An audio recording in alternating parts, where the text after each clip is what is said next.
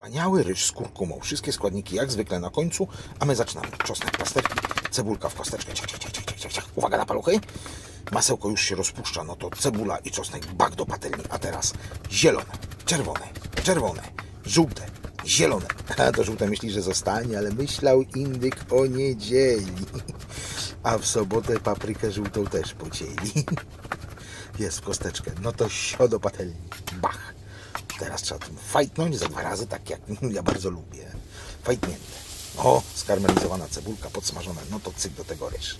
To teraz fajt, fajt, fajt, fajt, fajt, fajt, fajt. I woda. Bach. Teraz przyprawy. Niech to się wszystko wchłonie. Najważniejsze tu jest dużo kurkumy. Wchłonęła się woda. Super. To to pilnujemy, żeby się nie przypaliło. I dolewamy wodę. Tak wszystkiej wody będzie około jednego litra.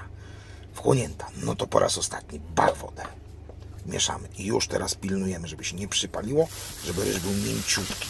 Cały aromat przypraw jest w tym ryżu. Jest mięciutki. To na talerz. Słuchajcie, gotowy, pyszny, fantastyczny ryż z kurkumą. Wypróbujcie. Koniecznie napiszcie, czy Wam smakował.